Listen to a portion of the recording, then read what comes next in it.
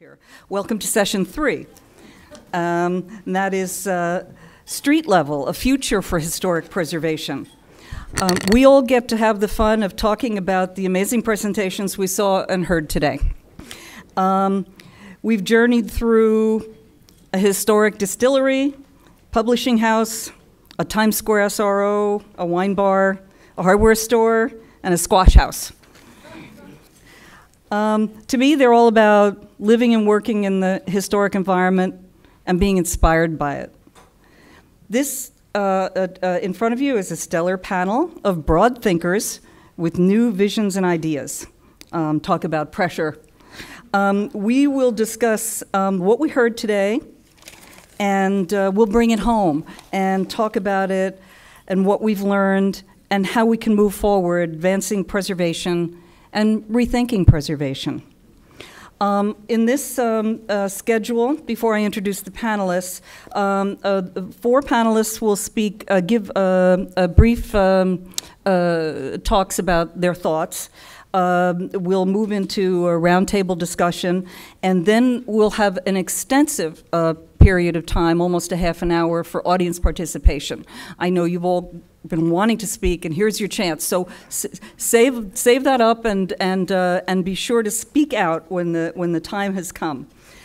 Um, we have um, our uh, two uh, moderators uh, uh, also joining us in this panel um, Will Tippens, Fitch trustee and vice president of Related Midwest, uh, the Chicago office of the national real estate firm Related Companies. And on the far um, side is Bill Higgins, Fitch trustee and principal of the New York City historic preservation firm of Higgins and Quasebarth and Partners. Um, our first uh, uh, speaker, I'm going to uh, introduce everybody at once, is uh, Randy Mason, who's Associate Professor and Chair of the Graduate Program in Historic Preservation at the University of Pennsylvania School of Design. And he's a, a major voice in the preservation field. Randy's books include The Once and Future New York on the origins of historic preservation in New York City, and that won uh, the SAH Award. Um, he wrote Giving Preservation a History and uh, he's about to write a book on the uh, is writing a book on the economics of historic preservation. Um, uh, Randy Mason was uh, Adele would know this uh, at the American Academy of Rome in Rome um, to last year. Um, Allison Isenberg is is a Fitch Fellow and received an award for her book, which is upcoming on uh, secondhand cities, race and region. That can't be right in the antique Americana trade, from the Civil War to urban renewal. And she also got uh, support from the Winterthur Library and the Graham Foundation for that. She is professor of history at Princeton University, where she co directs the Princeton Mellon Initiative in Architecture, Urbanism, and Humanities um, with Stan Allen. She had a recent book, Downtown America A History of the Place and the People Who Made It, uh, which received several awards. Um, Allison comes by her broad view through a very diverse experience. Before graduate school, she worked in affordable housing at the Community Preservation Corporation and for New York City uh, Parks and for the New Haven Preservation Trust. Rebecca Chan uh, works at the interface of art, cultural heritage, and community development and is very familiar with a lot of what we heard here today. She is the director of programs for the Baltimore Station North Arts and Entertainment District, where she oversees uh, programming of four public spaces, along with a lot of other initiatives um, aimed at forging and sustaining relationships with artists, designers, residents, and businesses, and guiding new development. Rebecca was named one of Baltimore Sun's 2014 10 people to watch under 30. Um, Adele Chatfield Taylor, I've, I've had to so ruthlessly cut her, um, her bio here that it's barely, everybody knows her and she's done everything and gotten all the awards in the world. Um, Adele Chatfield Taylor is an honorary trustee of the Fitch Foundation. Um, she is president emerita of the American Academy in Rome. And because it's the American Academy, we're, we're saying the proper Latin um, um, ending for that. And served as president and CEO of the Academy uh, up until uh, 2013. She was previously director of the Design Arts Program for the National Endowment for the Arts. And um, She was, uh, I'm ruthlessly cutting even more. She was executive director of the New York City Landmarks Preservation Foundation. She has served on many, many boards. I'm going to name one, the U.S. Commission of Fine Arts in Washington, and she has won many awards. And the one I'm going to mention is the cool one, which is uh, in 2002, she was decorated by the President of the Republic of Italy, uh, the Grand Officer of the Ordine al Merito, for doing the unthinkable, making Rome more beautiful through the historic preservation of the American Academy in Rome. yeah. Um, I do want to say that I see many, many people here who could easily be on this panel, and I look forward to our uh, public discussion. Uh, we're going to begin with Randy Mason. Uh, thank, you, thank you very much, Mary, uh, and the, the, for the Fitch board and Siri for organizing this. That's really, really interesting. I've already learned a lot and uh, started with a fresh notebook this morning, and I'm already many pages into it. Um, and I'm trying to extract a few things that I can try to just start things off in this session and to really have it be a whole room conversation.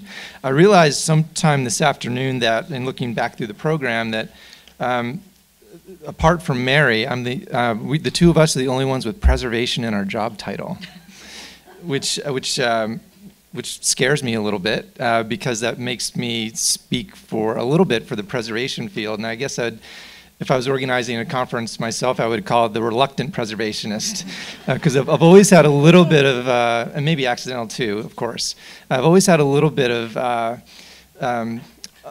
um, unkind feeling or, or, uncomfortable feeling about the title preservationist uh, for, for reasons I'll get into in a moment. But I think that, you know, given the company that we're keeping today, um, I, I, think we're all wearing that label and wearing it with, uh, with a little bit more um, uh, a little bit more energy and a little bit more optimism, given all the things that we are seeing and hearing and believing as as part of preservation. So the um, the the overall point that that strikes me about the future of preservation, which was sort of our assignment, and all the great things we've heard today, um, is that there's a I think there's a I feel at least a tension and a bit of a conflict between the ways that we think about preservation uh, which have changed a lot and evolved a great deal, I think, in the, certainly in the last generation, between the way we think about it and the way that we talk about it and the way that we act on, on, those, on those thoughts. And it came out a few times uh, in the uh, uh, in, in, the uh, especially this morning's session about you know well uh, one of the the uh, I can't remember who exactly it was saying well I, I won't do any project in an historic district because those regulations just relentlessly drag me down it adds too much time um, but I think a lot of the projects actually were, in my mind, case studies of how public and private and NGO and, and other kinds of sweat equity come together in combination to make most good projects, if not all good projects. So um, the, uh, the, the, the, truth, I think, in a lot of the, the accumulation of what I heard from the first and second panels is that preservation is not one thing, and that's I'm just being the master of the obvious in saying that. It's it's many things. It's many ideas. It's many approach design approaches. It's many different kinds of organizations. It's many different kinds of outcomes. Sometimes we are preciously protecting and saving and sticking things under glass. Other times we're dramatically transforming a, a, building or a place. Uh, so to, to even talk about it with this one word label of preservation uh, automatically to me is uh, we're filling ourselves in, with conflict. Uh, we've got to find more and different ways to talk about uh, this whole range of things that we do and these ideas that we have about the material past, how we activate it for contemporary society, how we actually take care of it without, uh, without foreclosing our options with, by opening options. Uh, so we need a more open and, uh, and adventurous and, and gregarious way of talking about all the stuff that, we, that we're interested in, all the stuff that we heard about today. In addition to those, what you might call traditional curatorial, very professional ways of taking care of certain uh, parts of heritage or certain heritage places. So we, we, we need to encompass all those things. On the other hand, uh, the way that we talk about, the way that we in preservation talk about preservation, the way that other people talk about us, um, I think more, but much more often fall into uh, under a category I would call fundamentalist. Uh, you know, we, we are not admitting of other ways of, of hearing about what we do or, or hearing other people tell us how we should be doing it or, or, or, or uh, just having a discussion about it. We, we far too quickly get into a defensive position I've said this before to those of you who know me. We, you know, the battle metaphors. Like, come on, we've been. We, this has been going on for more, you know, centuries. We've been talking about battles and campaigns and fights, and you know, there are other ways to think about and model how we want to get along. Um, and of course, other people pick fights with us, so it's not always inappropriate. But I think we just need to call attention to the habit we have of, of more or less fundamentalist thinking about preservation. I would also say that we're, not a, we're in good company because the people who we are often, quote unquote, in battle with or in, in, uh, in communication with have their own fundamentalist ways of thinking about their enterprises. So whether it's uh, the, the, very uh, fundamentalist and polarized politics that we, our elected officials practice these days, or uh, people in the media, whether it's the very fundamentalist ways of thinking about economic development that people practice these days. I'm from Atlantic City, and so I, I, I wear I bear heavily the weight of my, uh, my community's decision to go for casinos as the economic development decision in the 1970s, and look where, look where it got the city. Um, that is a, a, classic example of, uh, of uncreative, fundamentalist, single-minded thinking about how to solve a problem. We can do better. Uh, and the people in these other fields need to be taught to do better. I feel now I just should just repeat the, the maxim that Vic uh, Christensen, is that the gentleman's name this morning? Uh, um, the, uh, the gentleman who with the confectionery, um, you know, it's morally indefensible to eat in chain restaurants, right? So make the food analogy to preservation. Uh, there, there, are lots of different ways that we eat, lots of different ways that we think about food. We have to think about the historic environment and cultural memory and all these, these things that are our goals to protect and, and, and communicate uh, in those terms as well. We can't just go for the chain version of preservation uh, or the, you know, the sort of fundamentalist versions of preservation. We also have to have these more uh, open and adventurous uh, versions of it. Um, so uh, in addition to sort of being more open and being more uh, uh, engaging with uh, about our own ideas and, and with other people's ideas, uh, I think we need to, uh, if, we're, if we're really going to think about the future in, in a, that kind of open way and the long-term future of the preservation field, 50 years from now, let's say, I think we have to entertain the, the option or the, the, the possibility, and maybe even a desirable possibility, that if we're really successful, uh, that preservation will actually cease to exist as some self-defined, in air quotes, uh, field, or, or, as some people actually call it, a discipline. I actually don't think it should be a discipline. I think it should be something that should be a means to lots of other ends, as many of the uh, previous speakers have said today. Uh, so let's think about that long-term future as not just a, a bigger version of what we've got now, but maybe a transformed version. Uh, thank you. I'd add my thanks. This is a, a fantastic topic for the forum, and um, and the panels today were really stunning. Um, what I'd like to do is offer a couple of themes. I'm going to start with a few ideas and themes that uh, jumped out to me from the first panel, and then a few from the second panel, and then a few cumulative questions. I I hope for uh, discussion.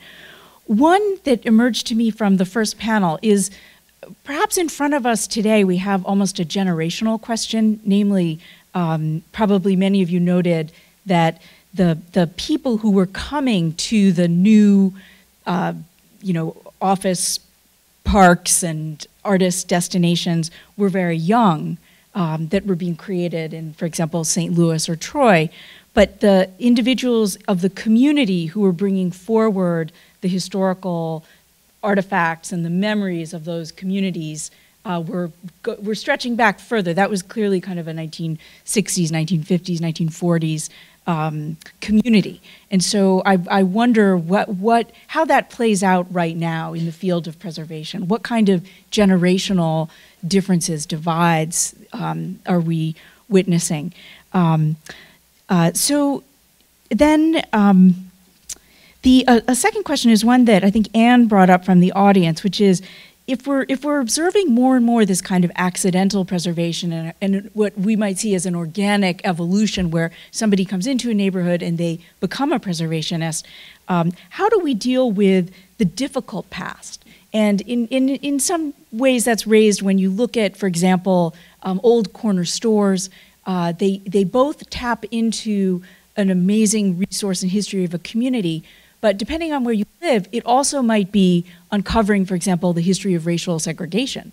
Um, so, how does a community step into the more difficult paths that are likely to emerge as alongside the inspiring and celebratory uh, paths? So that I think um, I agree with Anne that that's an important uh, topic to think about. Then, as as one of the historians here, I also would. It, my, I kept jumping back to the 1960s, and there are some ways in which the language we're using here of um, of outliers and accidental preservation, I think fall on either side of a 1960s divide where you know you might pinpoint a heating up of gentrification the role of urban renewal and also the acceptance of preservation as one of the driving economic forces. You know it begins to build by the 1970s and the 1980s it becomes ensconced and, and, and valued as economic development.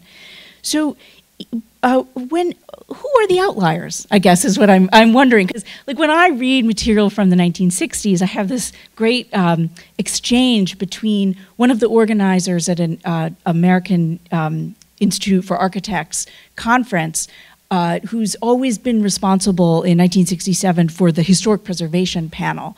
And he wrote to uh, Lawrence Halprin, a landscape architect who was one of the uh, people behind Ghirardelli Square. It's 1967, and he writes to Halprin. He says, "Thank you for for your participation in our historic preservation panel here at the AIA meeting, because your participation means that we've been moved from the pre-dawn meeting slot, and now we've been moved more into the center of the discussion." you know, at the AIA, and that preservation was being taken seriously as an aspect, in this case, of urban design. So I think that question of who are the outliers is very much raised here um, you know, maybe from an era when preservationists really were more the outliers, um, and, and so what has changed and who is outside that. And secondly, the accidental, because I think that in a kind of post gentrification, um, urban renewal era, that we might accidentally come to preservation, but the, the, the questions are not accidental. Like we all know that gentrification is a looming problem, and um, I think that it was Gina who used the term uh, intentionality. You know that there's really you know you you you kind of know that that's coming as a as an issue um, when you're working in preservation. So I think in many ways the topic that I would love to hear more discussion of most forcefully is how one differentiates uh, between a discussion of buildings and a discussion of land value. I, uh, to me, that's behind a lot of the conversation. Like when you're working in the um, the Navy Yard or the Presidio, there's not a, a particular challenge of um, you know the property values in the same way as when you're working in Troy or you know or St. Louis or Detroit. And so the, the how how it, when we use the terminology of investment as we have today, what how does how do land values factor into the models of, of preservation and shape? Um, we talk a lot about the buildings, but what's happening with the land? And I think that that I think preservationists, in many ways, accidental or not, can offer a lot on that. I think really a critical discussion. Um, then I, I, you can't help but notice that it, what kinds of are there differences differences between residential and commercial? It's, it's very simple. I mean, some of the cases are rooted so much in a residential neighborhood that we heard from. Some are completely rooted in the commercial.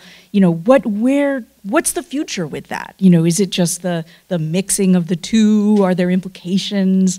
Um, I, it seems like that is uh, a, a point of um, of flux right now.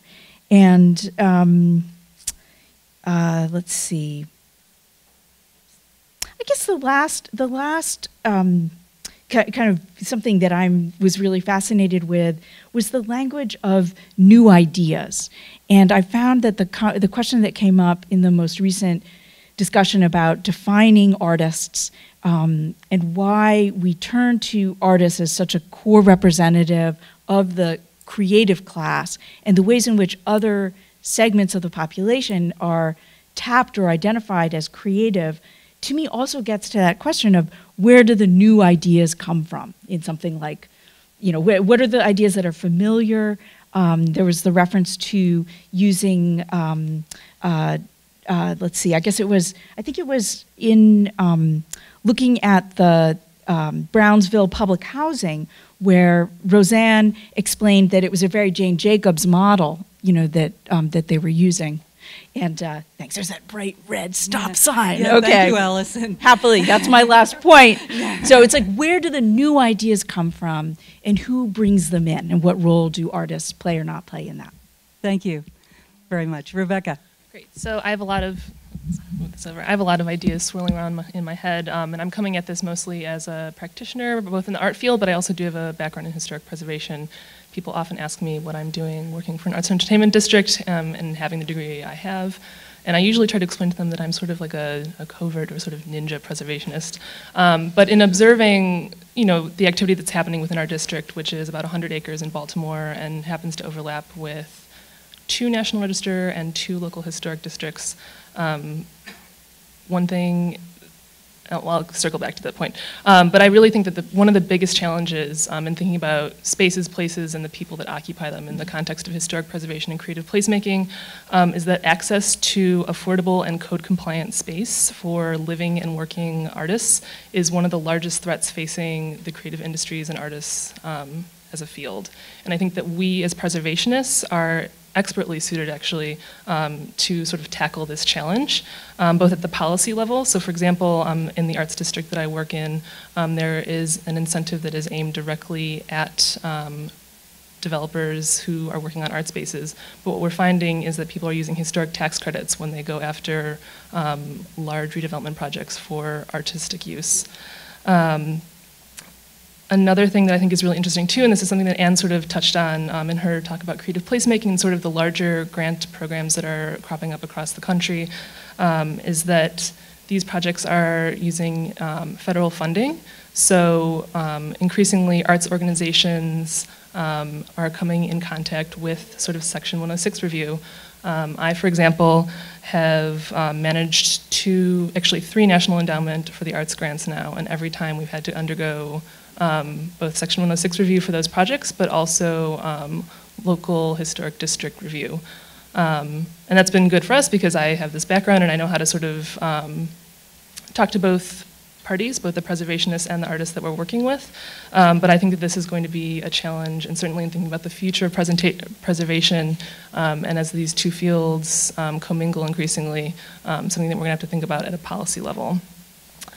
Finally, I thought it was really interesting um, in the second panel um, when we talked about unmaking places, creative placemaking, and then I would actually offer even a third um, component to that, and it's something that I think that we as preservationists will also be um, interested in is the idea of creative place saving.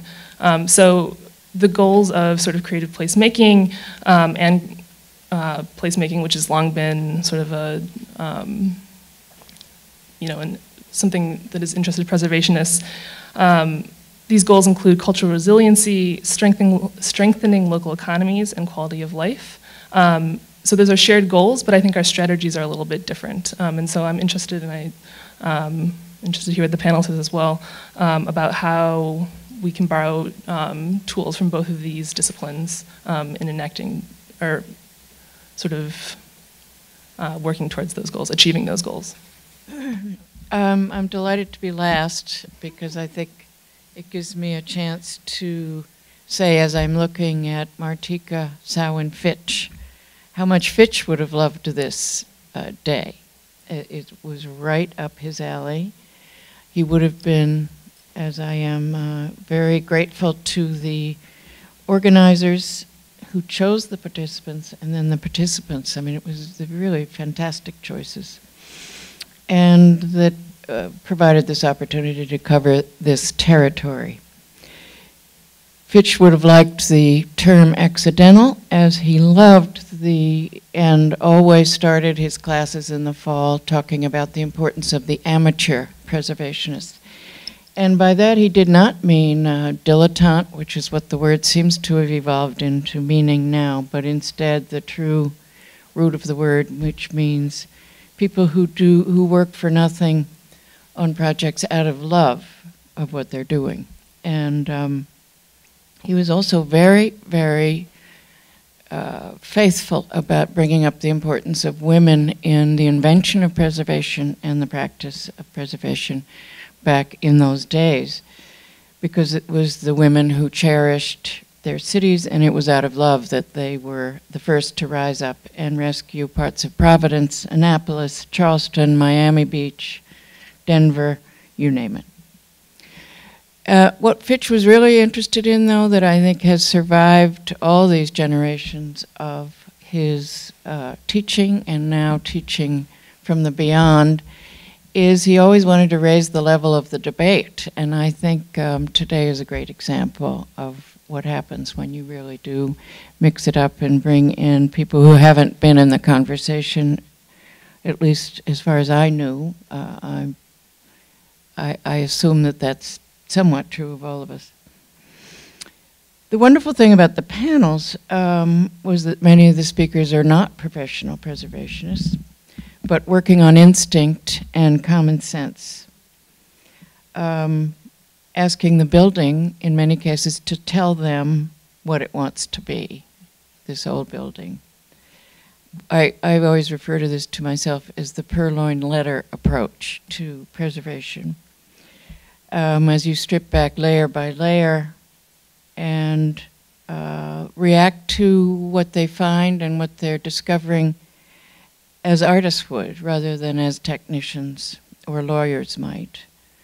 Um, I've written down here, as Roseanne said, looking at the fabric of a city in a new way.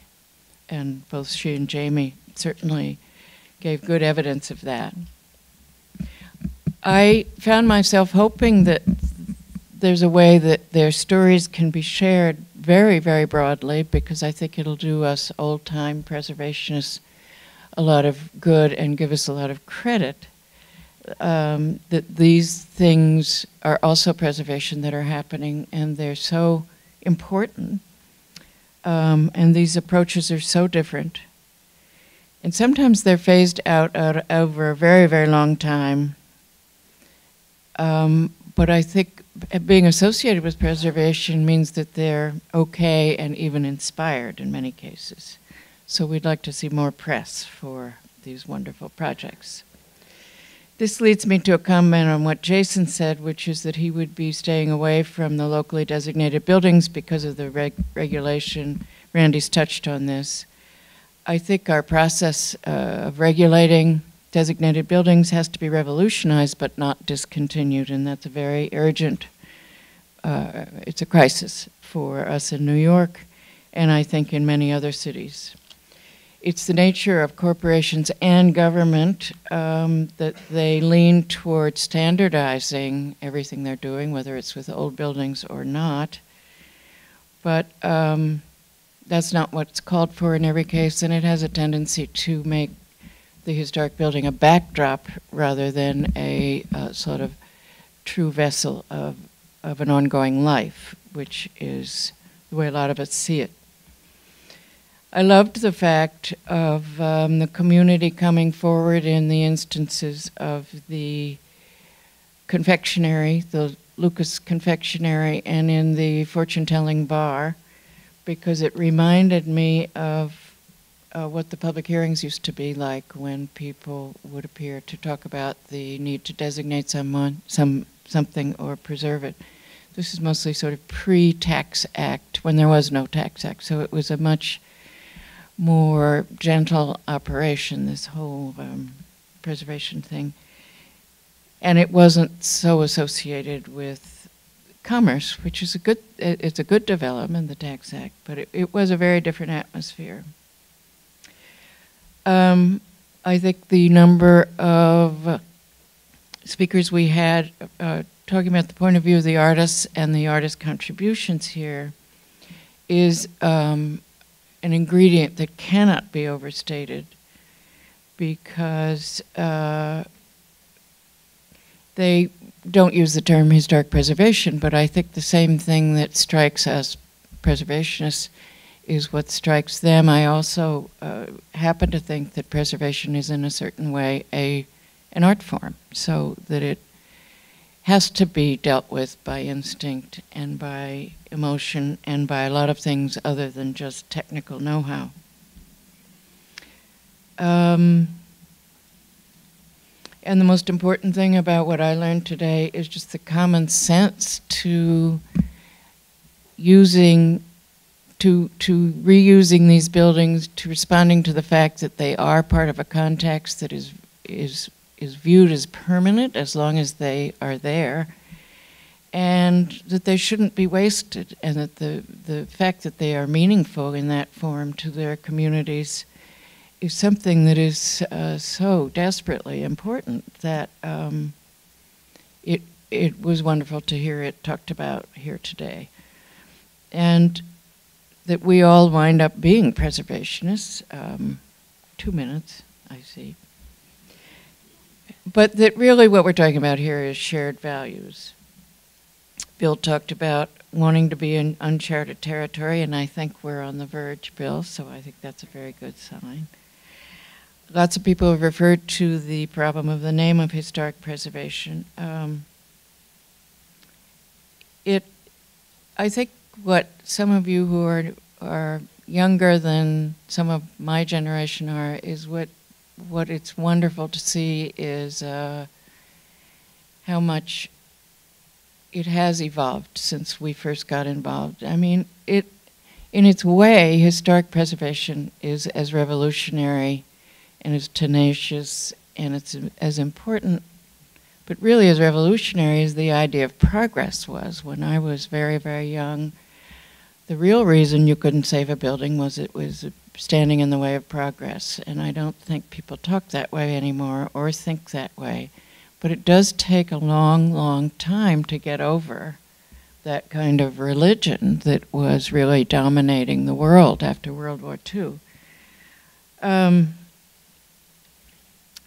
but while we're on the topic of what, what to call it, um, because it seems so narrow, and it seems to be about freezing a building or an artifact in time and in the past in a way that really isn't intended.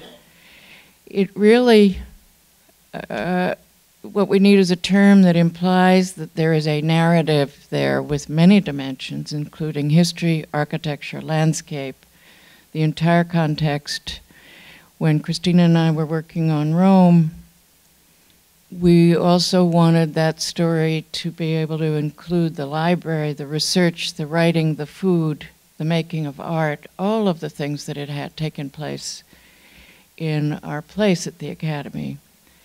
And that it's an ever evolving community that has an association with that place. Uh, and the timelessness of the place and the aliveness. I think that's the thing we respond to, and that's the thing the non quote preservationists respond to when they see the, the sign for the fortune teller bar and they realize that there's something there that can be built upon. Um, that a place cannot just be about the past, and I don't think any self-respecting preservation uh, preservationists would, would recommend that, but on a, an ongoing, particular minute civilization that has a soul and a future and a capacity to be enhanced by new additions that grow out of its continuity, um, that are always somehow based within the continuity, within the parameters of the existing place. So it start it does take time, but I don't think we should worry too much about the, the name historic preservation because as long as there's sort of a flag sticking up and we can all know we that's the place we belong. I think it's effective. So I would let it rest at that point. Thank you very much, Adele. Thanks, everybody.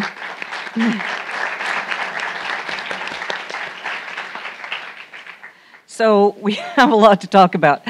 Um, I'll just put one thing out, and then I expect everybody to just just run with whatever they want at this point. Um, and the the the what for me, uh, going back to the historic preservation name, um, it, I feel that back when Fitch was talking about the amateurs and he used to talk about the ladies of Mount Vernon, and um, that the historic part was really important in the historic preservation part, but the historic part has become somewhat less important, and the preservation part has become more important. You know, the uh, uh, preserving the fabric. Uh, but what I've what I heard at the sessions this morning was the community was more interested in the historic part, um, and um, I'm throwing that out to you. Uh, what do you think about that? What should we do with that? Uh, how do we relate to the community better uh, with this in mind? Um, Randy. And then.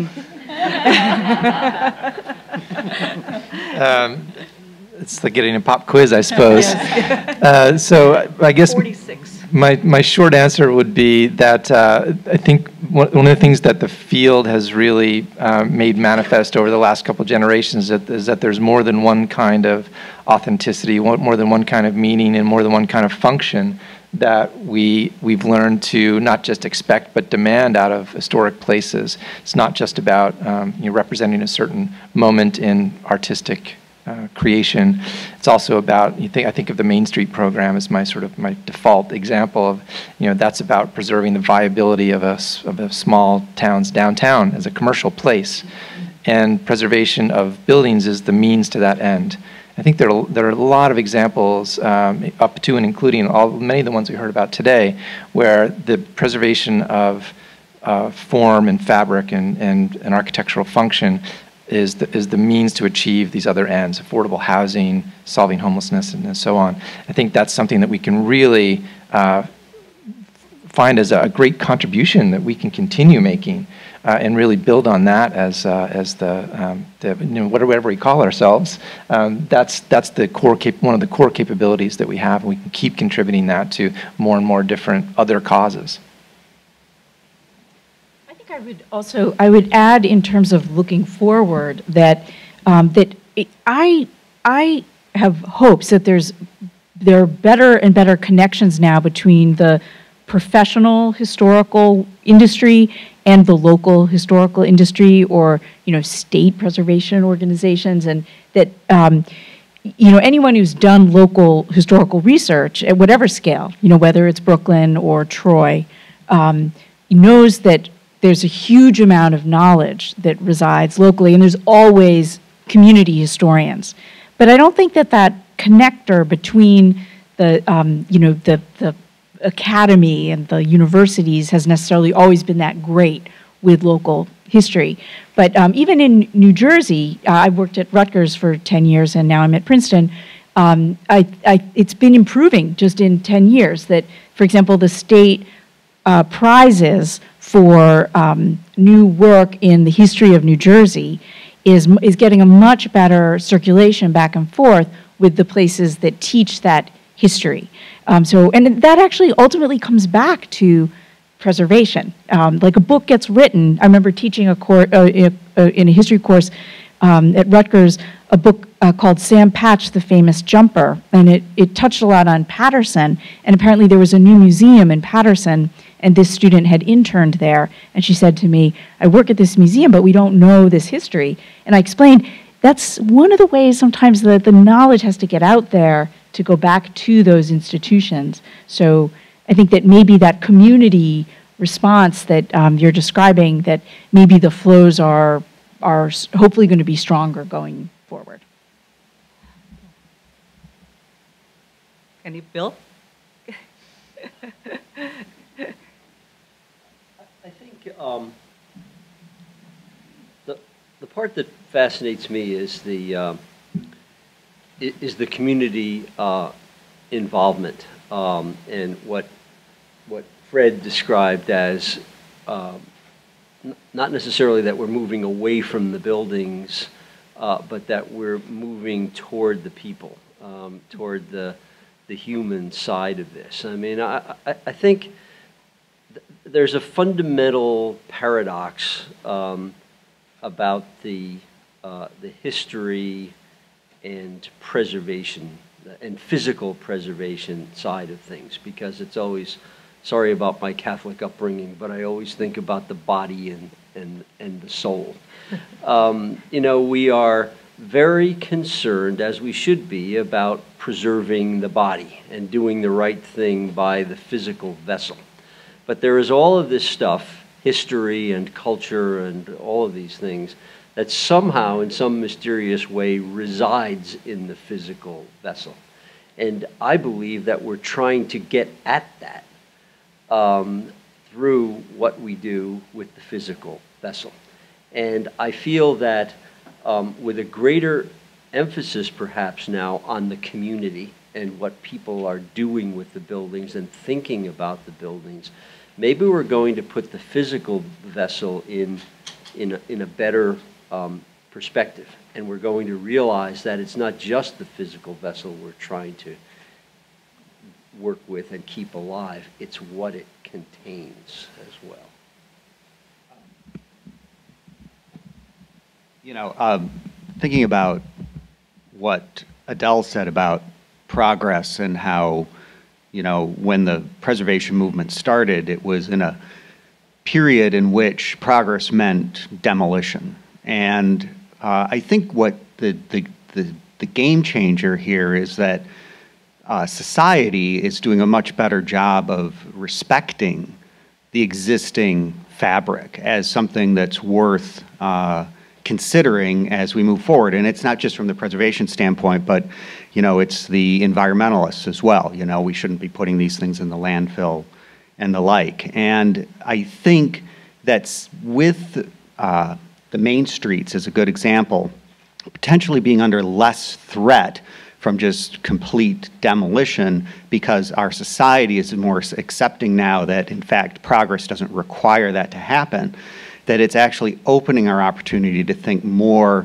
uh, about the other pieces of this other than simply the protection of the vessel, uh, which was which was what we had to do when there was uh, the, there was urban renewal and the removal of entire neighborhoods. You know, if you think about the Chicago Housing Authority or all of these housing authorities and Robert Moses, what was there before that towers were neighborhoods that were erased then, and then we've come in and we've, as Jamie pointed out, erased them again. And I think now that we're actually in a place when you think about what everybody is uh, has been talking about today is, you know, the best preservation of these resources is success.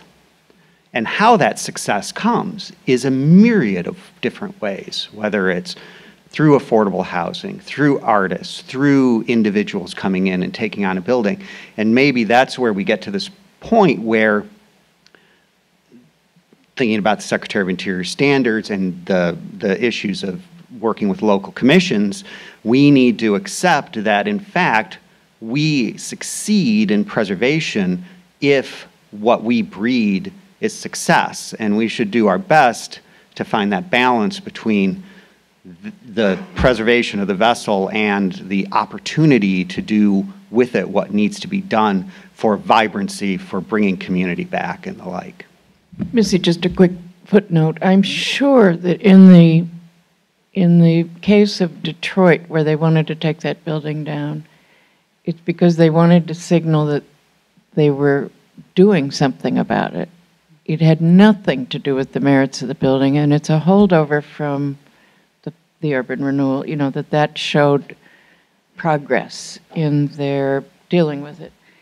And um, I, I think we're at a moment when maybe the balance is tipping that it won't be so necessary to prove for the municipality to approve to prove that they're getting on with it by tearing the building down. I mean, it's just such a ludicrous um, thing to do.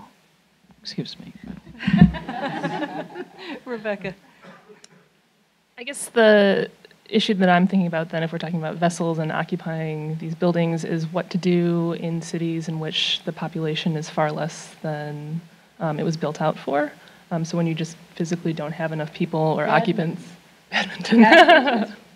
um, and immigration. I, yeah, immigration. Um, so I guess that's more of a, another challenge to the rest of the panel to think about. Well, Baltimore is one. The Fitch Foundation gave a grant for the row houses of Baltimore many years ago, and one of the reasons was because that uh, author was uh, trying to stop them from tearing down every other row house in Baltimore neighborhoods. And that is not happening now. So, Can I make one more comment on, Yes. on, on row houses? Since Philadelphia's got, arguably. Philadelphia has as many or more abandoned uh, row houses than, uh, than Baltimore. One of the, to think in terms of uh, the sort of performance or the function of, of row house neighborhoods, um, they're supposed to house working class, middle class people, and they no longer do that. Um, and the, the, it's a very difficult problem to try to square their, their uh, significance as architectural and historical artifacts or embodiments of a certain moment in history, and their, their underperformance, to put it mildly, as uh, adequate housing.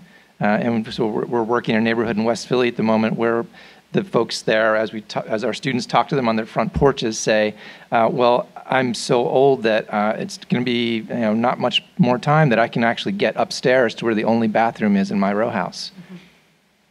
And that, then we need to intervene a little bit more strenuously, and we and we, we can't just be guided by our traditional preservation chops. That's also where I would add the question of ownership or stewardship, because those large multifamily buildings, whether it's public housing or the flop houses or the SROs, those were owned by a, a single entity, whereas the row houses, part of the problem is that even if you're trying to collect them all back through tax delinquency, that's a, a, already a massive investment of resources. So I think in, in part, it's a little bit about the question of scale. Um, but it does remind us too of the vast differences between cities that are, you know, so-called threatened by gentrifications, and I know it's a cliche, but the, all the other places that wish they had gentrification, but just to signal that there are places that would just love to have the problem of that increasing, you know, population and, and property value. And Rebecca, do you think that the creative placemaking can um, do anything on this um, front? I think it can help, but it's not, it's by nature a multi-sector approach, and so um, I think it's going to depend on the partners who are at the table in that case. What but it is about stimulating interest in a place and building on existing assets, so I, I think it's a good start.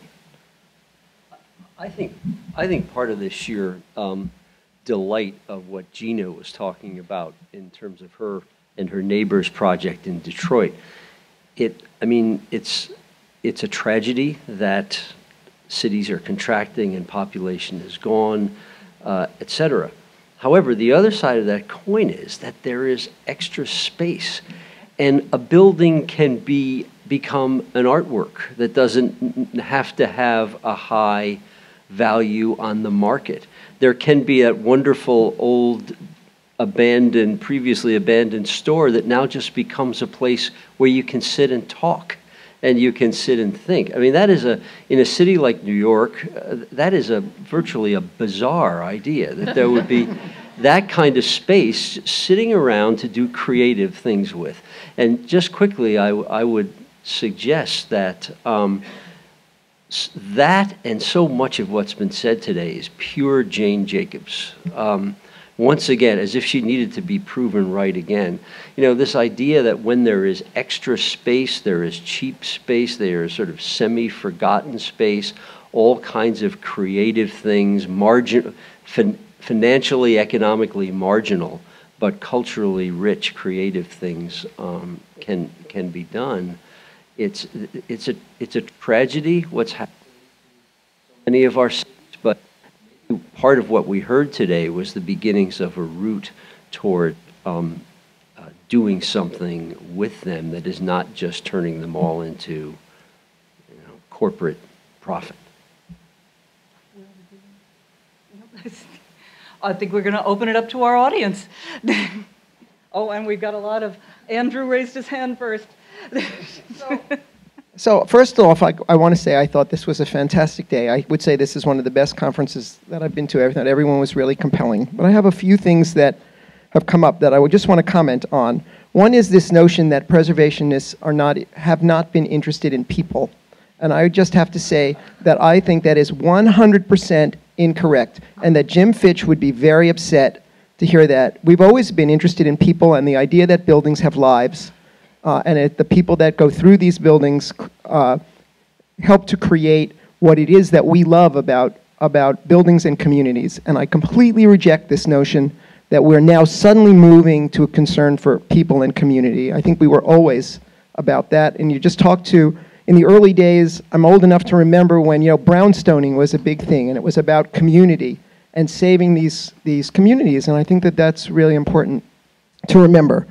Um, another thing that I, I, and the one thing that I think I found uh, that I would have to criticize the conference for is we've been to St. Louis, we've been to Chicago, we've been to Brownsville, um, we've been to Detroit, we've been to Troy, and I want to know where are the minority community activists today talking to us. Um, it's mostly we've been hearing from people from the, who came from the outside into these communities. And I would really like to know what community people think about some of these ideas about um, accidental preservation.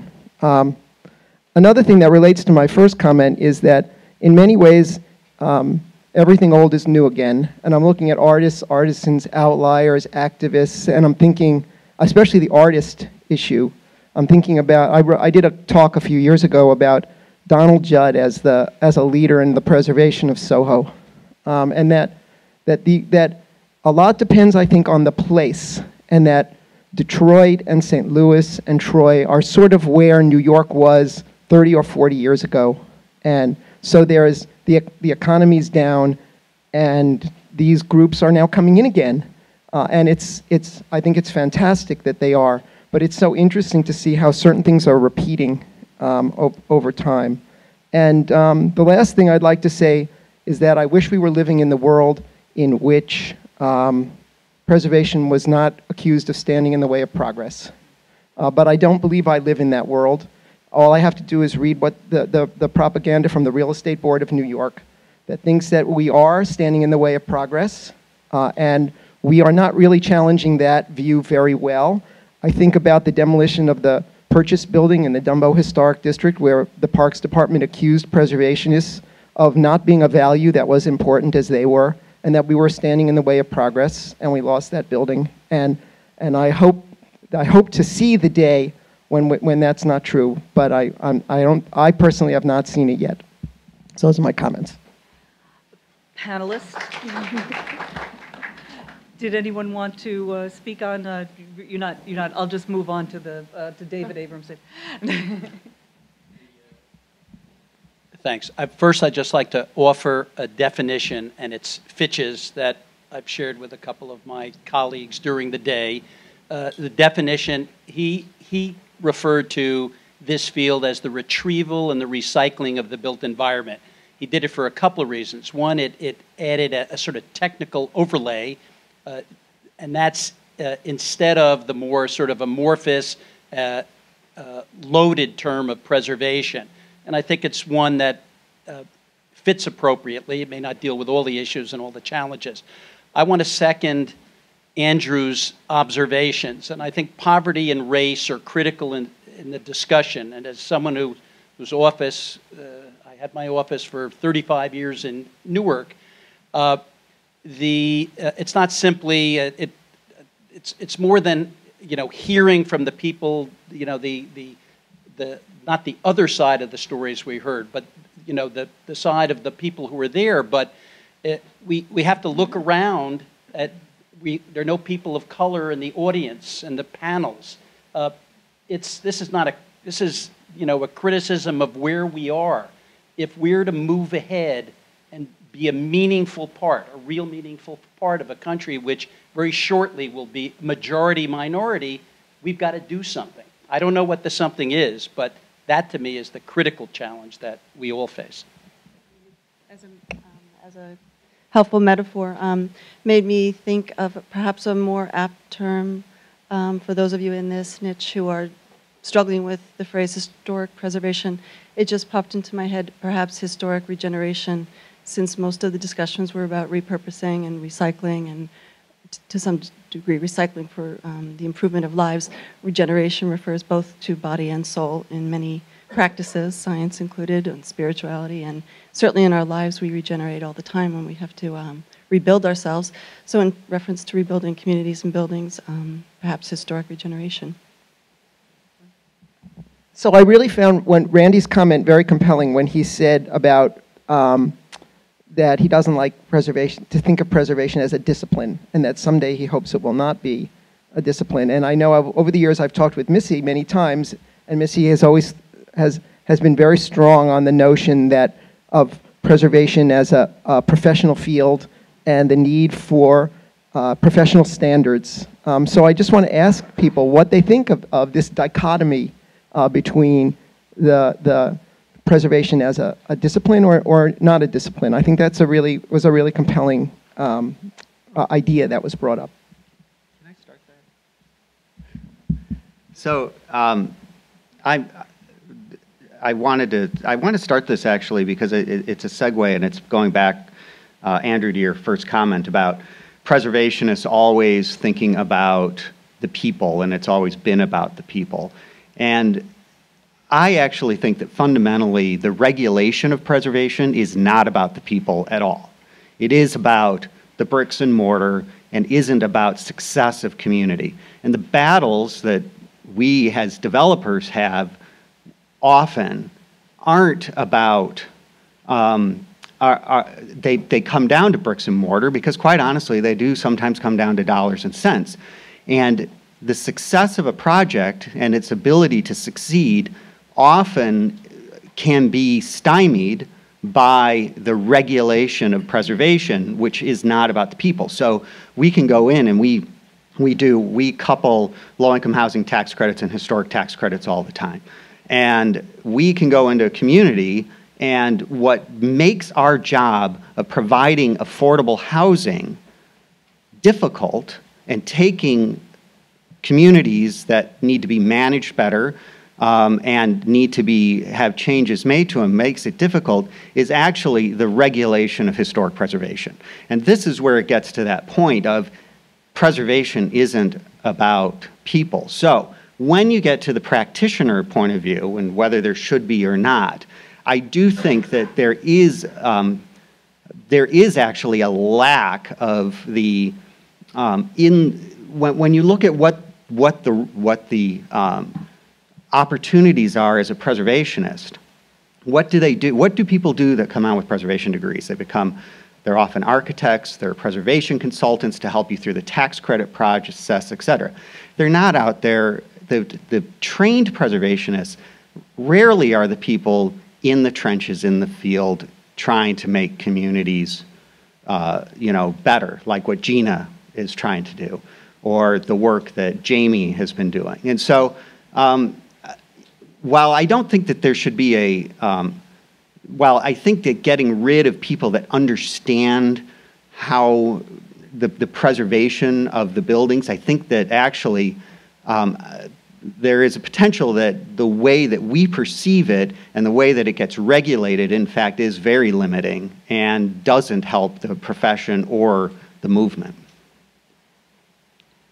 I would have, um, Rebecca, I would have to disagree in part with that because I actually do have a background in preservation, and I found that um, thinking of it as more of a, a worldview as I approach my daily practice, which does involve working directly with community members, community associations, um, people living and working in an arts district, but one that is also, you know, a residential area and a commercial district as well.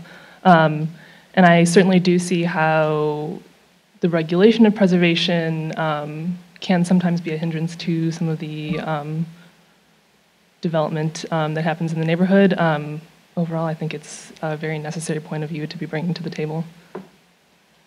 Frank? So I've been listening to this all day, and I think one thing that um, seems to be very true is that we're all celebrating anniversaries here. We're celebrating 50 years, really, of preservation in many ways. And the field has changed a lot.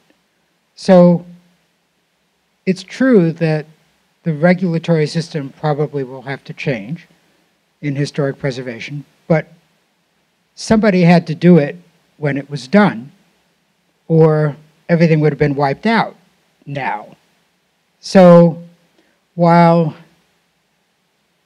what I was wondering when I heard that first panel, especially, who were accidental preservationists, and I'm looking at the product, what was up there on the screen.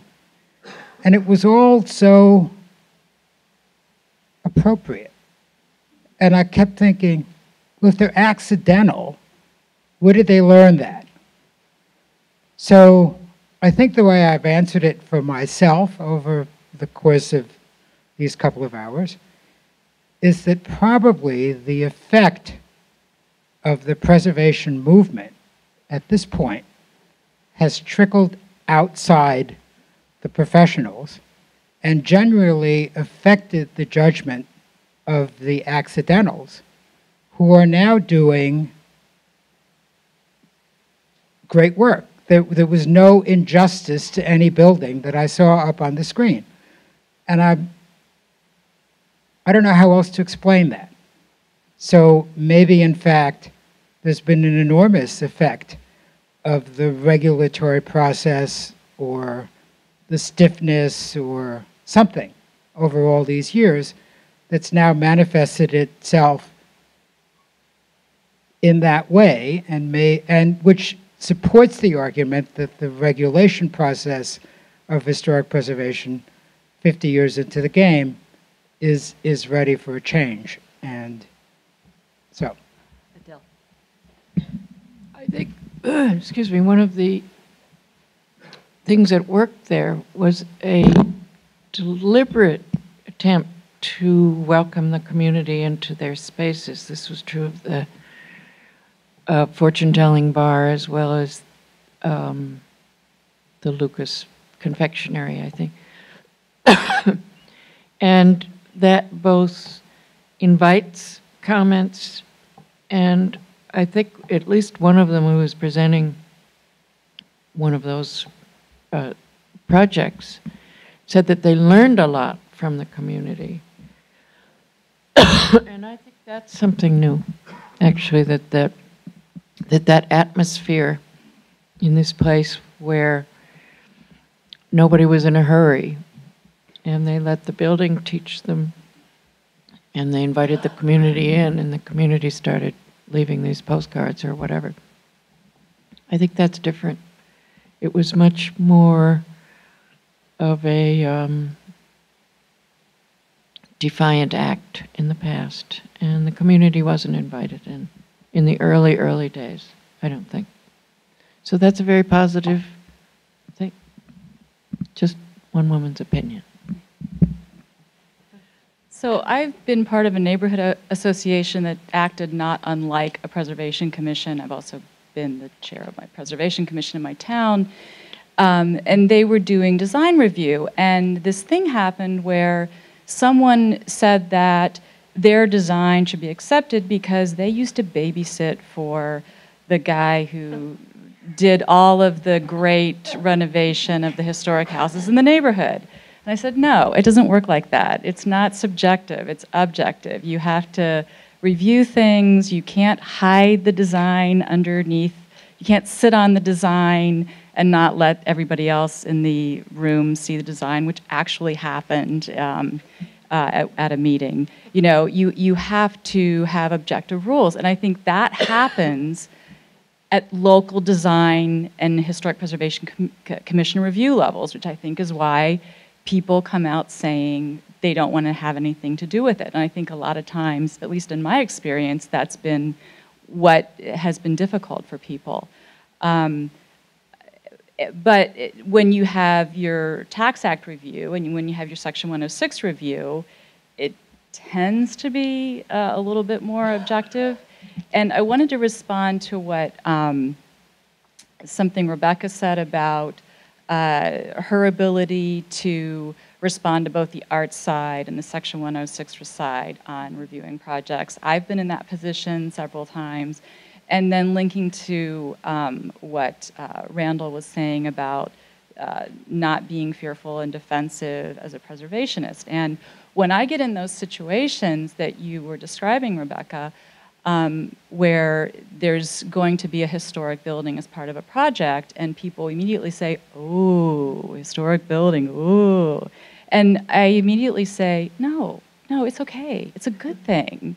And in part, I say it because this is my background. I know how to handle it, but I also don't want to jump to that defensive position, but but um, make sure that everybody understands that it is um, a benefit to the project, that it's going to make it a better project.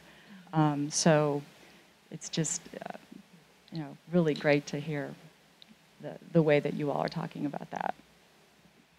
Thanks. Um, I'm Dan Campo. I teach, uh, I'm a professor at the School of Architecture and Planning at Morgan State University in Baltimore. Great, great program. Uh, really enjoyed it. And um, I think my question has to do with um, trying to get the, the panel's reaction to what we heard in the morning and sort of balancing that with traditional ideas about community engagement, which seems to be uh, an issue that's been come up in, in this discussion. And uh, I've been doing historic preservation research. Very, uh, my case studies are in uh, Buffalo, Detroit, and Brooklyn. And uh, I'm calling this uh, DIY preservation, insurgent preservation, sub-market preservation. I'm kind of, I'm exploring. I, I don't know 100% where I'm going with it.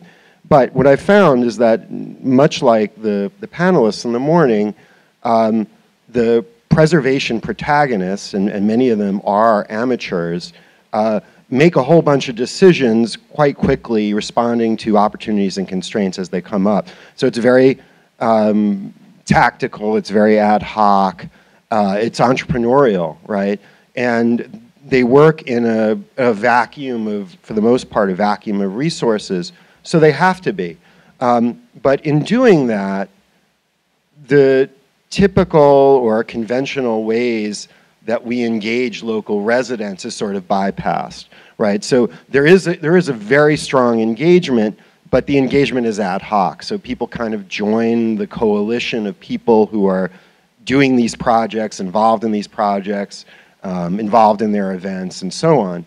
Um, but there's definitely, especially in Detroit, you know, there's a, that conflict about, um, well, how come the, the community hasn't been contacted by this, right? And I think if you look at the two panels from the morning and the afternoon, you know, the, there was probably a lot more community outreach and engagement in those public housing demolitions than there were in, even if it was just on face value, right, than in the uh, tactical approaches of the morning uh, presentations. I just wanted to get the panel's reaction to that. Uh, you know, uh, I think also what I did want to say was I don't know, a lot of the panelists aren't here, but the, the panelists that are here, um, please, you, you, you, should feel free to speak. And you, you, you're, you're allowed.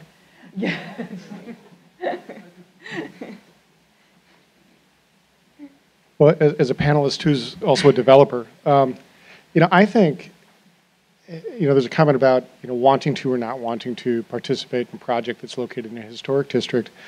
You know, I think that establishment of a district that's protecting the integrity of a, of a neighborhood, you know, establishes a community good that a developer needs to respect. And, and you need to come in and you need to participate in a process, even if it's difficult, and that's part of doing work in that kind of a setting.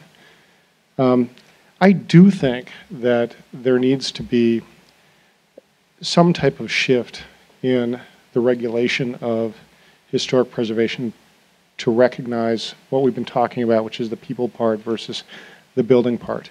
And I, I've encountered it, and I've encountered it both in the definition of what we consider historic, as well as, and that's really where I've encountered it. There's a second piece, which is the regulation of what you do with the building once you've defined it as historic. I, I think that, the, I personally think there's more need to move on that first part than perhaps the second part. Um, I'll give you a very concrete example. In, in a rural Minnesota town, we were doing uh, a, a historic rehabilitation of a school building. And in Minnesota, there seems to be a feeling that schools are common and therefore not historic. And despite the fact that every single person in this town of 13,000 had experienced and lived in that building, the way that we were required to document its historic significance was as a building that happened to include intact representation of three different generations of educational architecture. And so there was no recognition of the historic nature of the community's involvement within, with that building over 100 years of occupancy. It was entirely based on the, on the architectural features of three distinct you know, periods of, of educational construction. And I, I think that, that while we were able to obtain documentation of the historic nature of that building, I, I think it was disrespectful in a way of the human part of that building's life. And I, I don't know what you do about that, but I, I think that that, as I listen to this conversation about the human element versus the architectural element, I think that there's room for movement there. And I think that that's probably something new over, over the last 50 years. Adele. I would add to that um, that the law, most preservation laws, and the 1966 Preservation Act that sets up a definition for the National Register says architectural, historical, or cultural significance. There's a real weakness in the history of historic preservation because the cultural category has been so little exercised um, in when the designations are made. And it's not a capital C. It is, in fact, what um, Roseanne was talking about and Jamie. It's the association with the place and what is done there and so on. So I think this is a really big advance that that that could be used to cover that that word can be used to, to cover the appreciation that is being um, shown for what it means to people in a very, very simple way. And that this is a major improvement in the exercise of the law and the way the existing environment is being looked at. That it doesn't have to be architecturally significant. I mean, there are very good reasons why this was shied away from in the in the early days is because they really people felt the, that they were on the firmest ground when they were talking about architectural significance because uniqueness is easier to prove than cultural significance. I mean, this kind of thing. So I think that's a defensible um, history, but it's a great relief to have these other things entering into the consciousness of why things have to be saved, it seems to me. Thank you. And I think at that point, we're going to end our, our panel. Thank you very much to all the panelists.